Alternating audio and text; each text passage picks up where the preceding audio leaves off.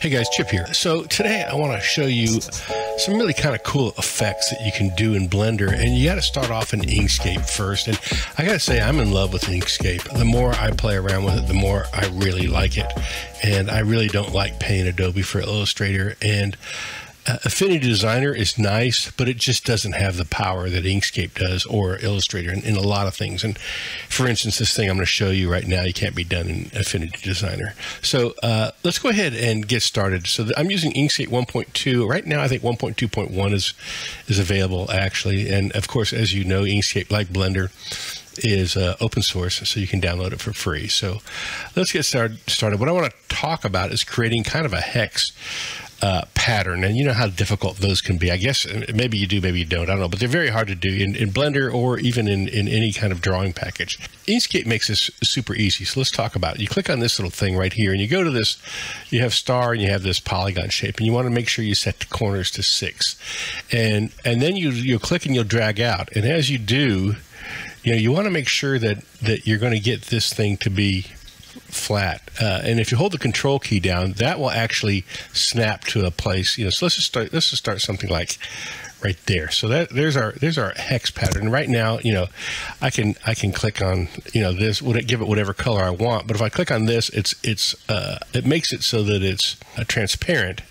If you hold the shift key down and click on any color here, now you're setting the actual stroke, the stroke. So you can see down here as, as we scroll down, you know, you'll see there's the hairline. We're changing, you're just changing the color right here. That's, you can come in here and change the actual stroke and the size of the stroke and all that stuff. That's actually also over in here, stroke style, hairline. We can make it whatever I, I, I use hairline. So, okay, let's go ahead and continue. So what we want to do is we basically want to add a modifier. Think of it like in Blender. It's a modifier. So we're going to go in under path I think it's called Path Effects, right? So I've got it stored over here in my little side panel. You'll have to figure that out on your own. It's not that hard to do, but once you have this here, you'll basically click Add a Path Effect.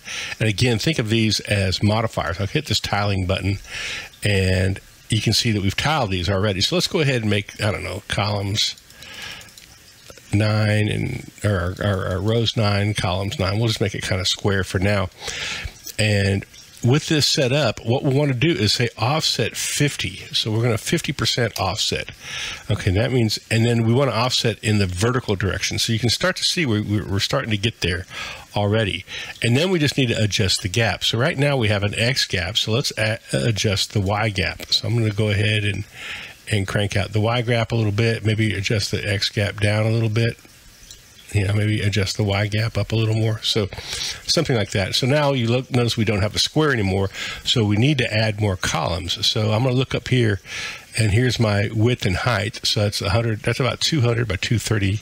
So I'm going to just keep adding columns and until I get those to be close. That's about close enough right there. That's going to be what we're going to get. Now I can use this as an SVG to, to import into Blender. And of course, you could do this in Blender, but check this out. And, and, and, and I know in geometry nodes you can do it also, but man, this is just so darn, so much faster. I can go into scale here and I'm going to just hit the minus button and notice that they're getting smaller as they go down. And I can basically say minimize the gaps if I want to, if I want to do that, but I don't want to do that. But but I can do that too. And so there's all kinds of different ways. I can go this direction, I can go that direction. You know, I'll, I'll just leave it in this direction. Now I'll just go ahead and say save as and it just says it as a default SVG. I'll use this drawing, uh, replace that. Okay, and we'll go now into Blender. And here we are in a blank scene in Blender. And I just go import, and we want a scalable vector graphics. And let's go to downloads where I put this, scroll all the way down. Here it is, import the SVG. So let's go and I'm going to hit the five key and then the which is takes me out of perspective, and then the, and then the one key, and then the period key. I'm sorry, seven key and the period key, and now we have this. And so, what we'll do first is I'm going to say object set origin uh, to geometry, puts the origin there, and then uh, object snap selection to cursor. So that puts it all right there. And then I'm going to convert this object because it's a curve right now. So I'm going to convert it to a mesh and I'll tab into it and I'll hit a for all and F for fill. Now we have them filled. And then uh, while I'm here, I'm going to move them down about this and say E and move it up about like so. and then tab out of it. And so now we have the origin is set at the middle here.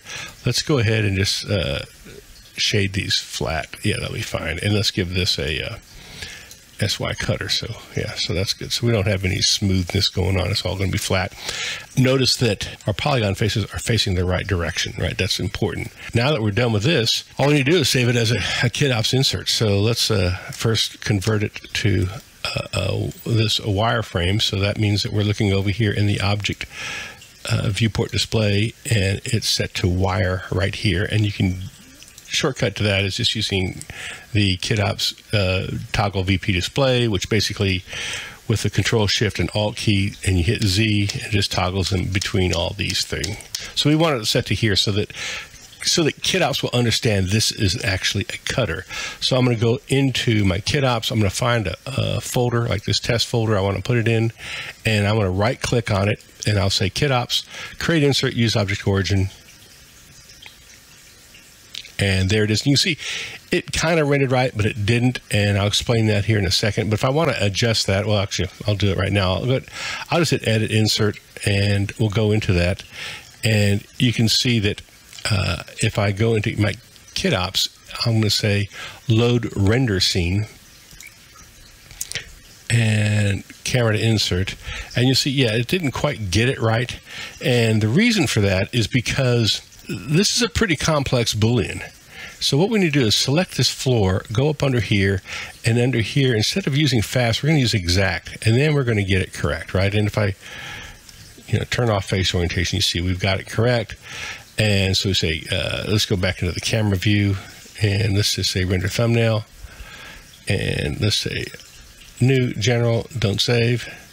Here's a cube. We're going to start here, and we'll just go into that same K-Pack that we were in right here and add the insert to this, scale it up, and turn off face orientation. So, so we're going to look at this and see that it actually works fine here. So sometimes you, if it doesn't work, you're going to have to go in, select the object, and go into your modifiers and make it exact.